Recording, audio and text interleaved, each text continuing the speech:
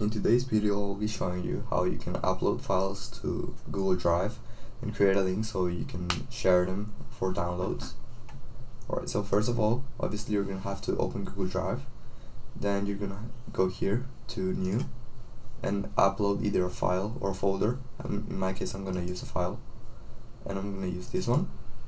Alright, now you're gonna have to wait for it to upload. If it's a larger uh, size file, it's gonna take a little longer but it shouldn't take too long. Now, if it doesn't appear here, you're gonna have to go to over to My Drive.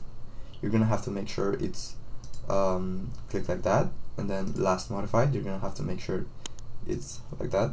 And if it doesn't appear, in my case, it does, but you're gonna have to refresh uh, the page. Then, in order to share it so other people can download it, you're gonna have to right click on it, click on Share, Share, and here where it says general access you're gonna have to change it uh, from restricted over to anyone with the link. And now you're gonna have to copy the link. And just so you can see it you're gonna uh, we're gonna open new tab and see it. Now as you can see you can see the file.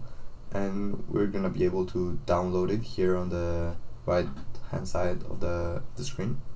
Right so that was all. Uh, thank you everybody. I'll see you on the next one